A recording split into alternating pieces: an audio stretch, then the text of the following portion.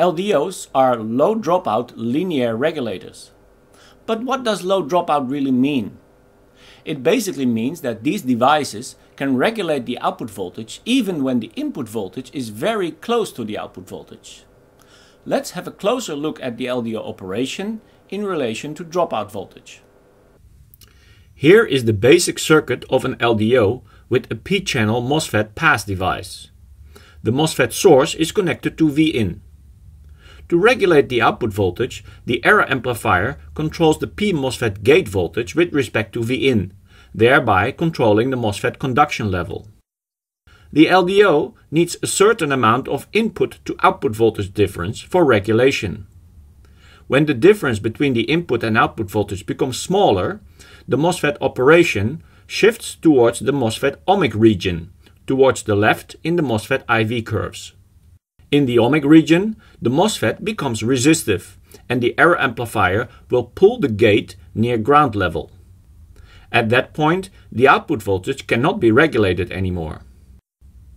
LDO dropout voltage is defined as the voltage drop across the regulator where the device can no longer regulate the output voltage. Dropout curves as shown in the LDO datasheet show this dropout voltage as a function of output current and temperature. We'll illustrate the meaning of dropout voltage with an application of the RT9187-25, which is a 1 amp LDO with a fixed output voltage of 2.5 volts. For this test, the input voltage is made variable with some ripple, and the LDO load current is set at 780 mA. According to the RT9187 datasheet, the dropout voltage in this condition is 150 mV. So when we reduce the input voltage, you will see that the LDO is no longer able to regulate the output voltage when the input voltage drops below the output voltage plus the dropout voltage. Dropout voltage is related to the load current and the RDS-on of the pass MOSFET.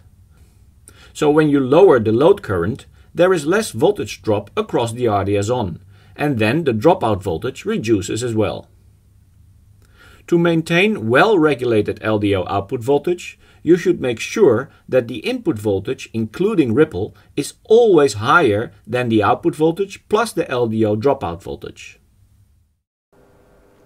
I hope this video has given you a better understanding about LDO dropout voltage. If you would like to know more about Richtek LDOs, please click the link at the left side or visit the Richtek website at www www.richtek.com.